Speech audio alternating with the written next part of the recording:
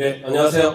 예, 저번 달에 이어서 또 찾아왔습니다. 제가 뭐 특별한 일이 없는 한 매번 keynote는 발표하게 될 것 같고요. 저는 keynote를 통해서 어, 이 XE가 가야 할 가고자 하는 방향이라든가 아니면 뭐 최근에 뭐 변동된 상황이라든가 아니면은 뭐 새롭게 추진하는 사업 이런 것들에 대해서 소개를 드리고 그다음 이전 뭐 세미나에서 나왔던 피드백들에 대한 이제 그 고민과 어떤 해결점 이런 것들을 담아서 소개해드리는 그런 시간으로 이제 사용하려고 합니다. 뭐 지난 시간의 것들에 대한 이제 뭐, 뭐 이제 피드백은 어느 정도쯤 확인을 했고요. 이제 그거에 대한 얘기를 하기보다는 좀 더 앞으로 우리가 어떻게 나아갈 것인가에 대해서 얘기를 하기 위해서 이번 keynote 주제는 함께 만드는 커뮤니티라고 잡아봤습니다. 어, 함께 만드는 커뮤니티 그러니까 커뮤니티 XE라는 이 XpressEngine의 성장의 원동력은 어디에 있는가에 대한 얘기부터 시작하게 될 텐데요.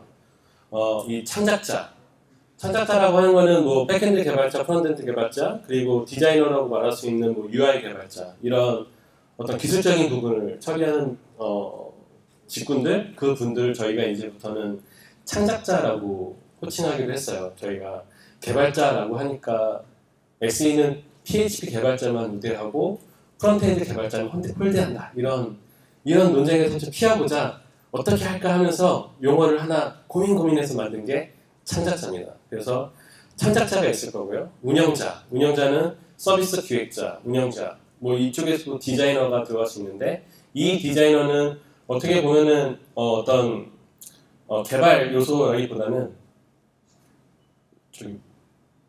요소라기보다는 어, 뭐 이제 뭐 운영에 관련된 디자인을 말할 수 있겠죠. 그리고 어, 뭐, 뭐 기술 기업이라고 해서 web agency 또 회사만 말하는 것이냐 그것이 아니라 홈페이지 웹, 웹사이트를 구축하거나 뭐 어플리케이션 서비스에서 backend를 구축하거나 저희가 이제 frontend는 처리하지 않으니까요. 그런 분들을 기술 기업이라고 호칭해 갔고요. 그리고 서비스 어, 이메일 발송 서비스라든가 실시간 채팅 서비스를 통해서 플러그인과 연동하는 어, 개발을 하시는 분들도 계세요. 그래서 이런 분들, 이런 분들 모든 분들이 SE의 성장 원동력이라고 저희는 생각을 하고 있습니다. 그래서 이 SE 성장 원동력에서 그렇다면 일단은 어떤 다 챙길 수는 없잖아요. 처음부터. 그래서 가장 중요한 것은 무엇인가? 그래서 가장 중요한 요소는 무엇일까라고 생각을 해봤습니다. 뭐 지구로 말하자면은 공기 같은 존재를 하나 찾아야겠다. 그러니까 뭐 지구에서도 공기가 먼저 중요할 수도 있고 물이 중요할 수도 있고 뭐 생명체가 중요할 수도 있지만 저는 이게 뭐 산소가 없으면 아무것도 안 되는 거 아니야? 공기가 없으면? 이라고 생각해서 그 가장 중요한 걸 공기? 라고 한번 생각을 해봤어요. 그러면은 XE에서는 앞서 봤던 그 네 가지 큰 부류에서 어떤 게 가장 중요할까? 소스코드일까? 라는 생각을 해서 봤습니다. 어떻게 보면 소스코드가 없다라고 하면 XE라는 이름도 없는 것이고 그러면은 아무것도 없는 거잖아요. 그래서 어, 가장 중요한 거 그러면 XE네, 소스코드네, 소스코드면 backend 개발자네 이런 생각을 한 거죠. 그래서 어떻게 보면 지난 거의 한 10년 되겠죠. XE가 시작한 지부터 다 따지면요. 그래서 그렇게 backend 개발에만 몰두하고 이슈 처리에만 몰두했는지 모르겠다는 생각을 했습니다. 그리고 최근에 이제 XE 관련된 여러 부류의 사람들도 뵙고 어떤 어느 정도의 뭐 SI 관련된 사업도 진행하고 하면서 그렇다면 이제 느낀 점은 그렇다면 소스 코드만 잘 만들면 되는 것인가? 왜냐면은 가장 중요한 소스 코드는 이제 거의 다 만들어 가니까요. 그러면 이제 다 된 건가? 소스 코드 하나로 우리가 다 완전해질 수가 있는가? 이런 고민을 다시 한번 하게 됐습니다. 근데 이게 하다 보니까 그런 걸 느낀 거죠. 쓰는 사람 없이도 소스 코드는 존재의 가치를 갖게 되는 것인가? 그래서 응? 막 생각하다 보니까 아닌데 사용자가 없으면 이 소스 코드의 가치는 하나도 없는 게 될 수도 있는데 왜냐면 저희가 소스 코드만 계속 만들면서 사람들이 그랬거든요. 니네 뭐 하냐고 4년 동안 코드만 만들고 배포도 배포는 하는데 쓸만한 건 안 만들고 지금 뭐 하냐고. 근데 저희는 이제 개발을 하고 있으니까 어, 우리도 힘들게 하고 있어요라고 말을 했지만 어느 정도 다 완성이 돼 가고 외부에 사람들 만나면서 SI 사업도 진행하면서 느낀 점은 아, 사용자가 중요한 건가? 라고 했습니다. 사용자 관점에서 최근에 생각해 봤더니 어, 이 편리함? 이 편리함의 대부분은 이제 왜 XE를 사용하세요? 왜 이걸 도입을 시작하게 되죠? 라고 하면 회원 관리라든가 게시판 같은 것들이 다 처리가 돼 있고 바로 사용할 수 있으니까 라는 말씀들 좀 해주셨고요. 다양한 그러니까 테마나 plugin 이쪽은 뭐 저희 쪽 얘기가 아니라 WordPress 얘기일 수도 있습니다만 테마나 plugin 같은 것들을 빨리 구하고 내가 원하는 기능을 빠르게 만들 수 있으니까 뭐 그런 게 다양하니까 라고 말하는 분들이 계셨고요. 또 안정성 뭐 성능이나 보안에 대한 문제점이죠. 뭐 저번 어, 세미나 때 보안 관련된 이슈에 대해서 지적해 주신 분도 계셨고 다행히 저희는 이제 그런 거에 대해서 검증을 다 받았던 터라 뭐 됐습니다 라고 하는 뭐 보안 테스트, 유닛 테스트를 다 돌리고 있는 그런 안정성에서 사용자가 선택하는 게 아닐까 그러면 결국에는 사용자는 plugin이 중요한 것인가?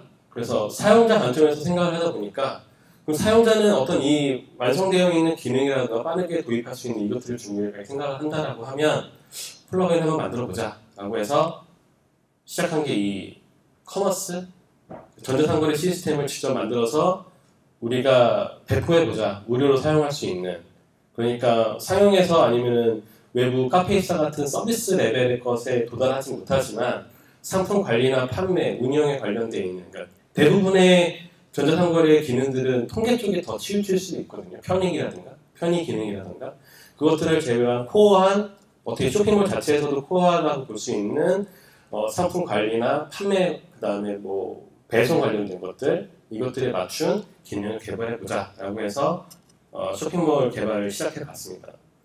그래서 어, 설치 plugin 형식으로 설치해서 바로 할, 어, 사용할 수 있는 plugin을 개발을 거의 마무리를 했고요. 지금 12월 달에 정식 버전 배포하고 어, 한개 서비스를 대상으로 해서 운영할 수 있는 수준의 예, 기능을 만드는 걸 목표로 이제 하고 있습니다. 거의 한 70% 정도 목표에 도달해 있고요.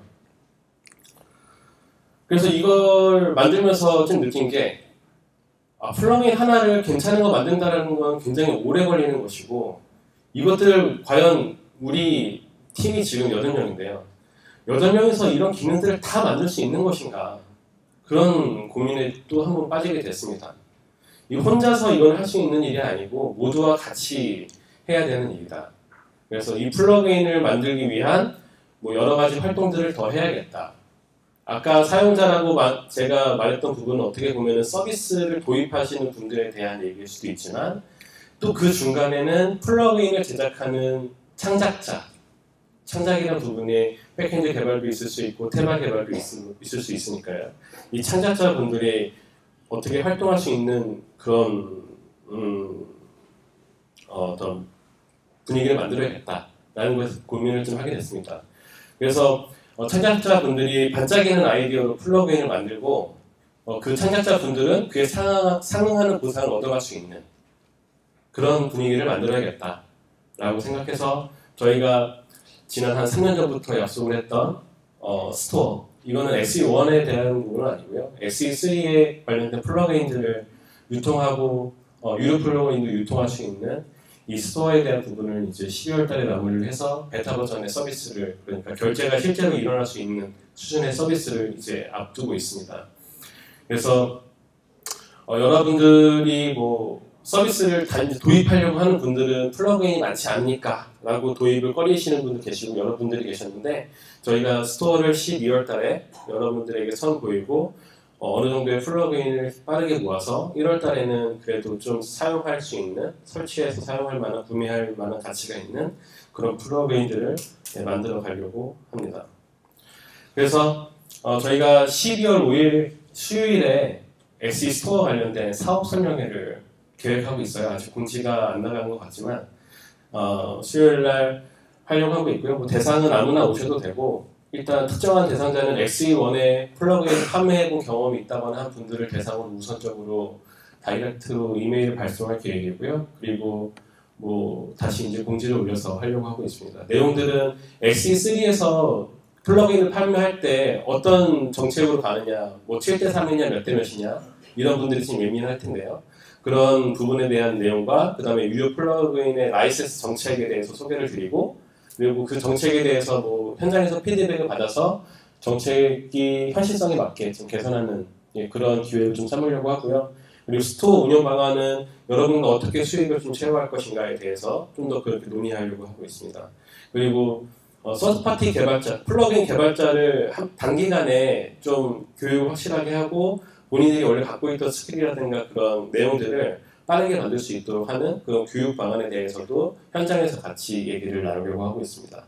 그러니까 이날 12월 5일 수요일이 될 텐데요. 그날 뭐 관심 있으신 분들은 또 많은 참석 부탁드리겠습니다. 감사합니다.